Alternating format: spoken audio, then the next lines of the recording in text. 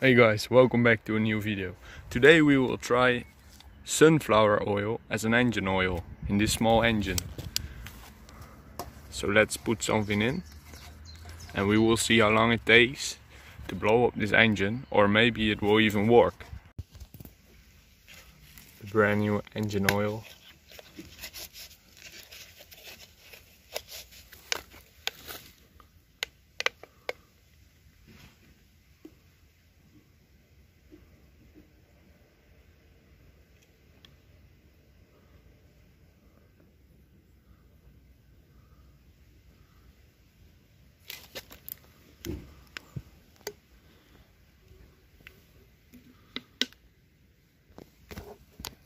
This lawnmower does not have a pull start, so we will make one by rotating the rope around the flywheel so we can start it.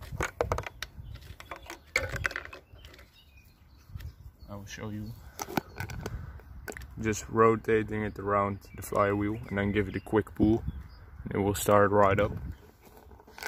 Let's see.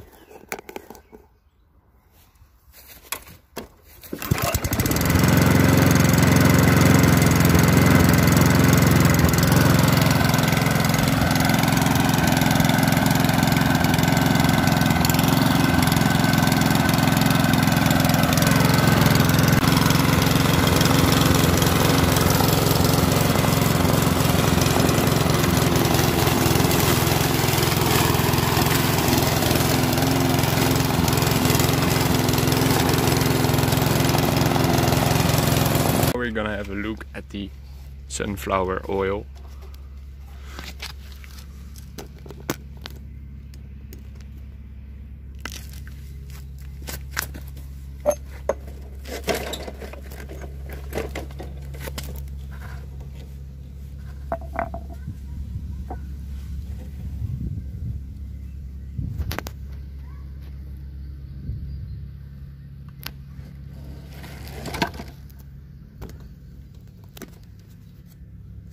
Guys, this is what came out of the engine.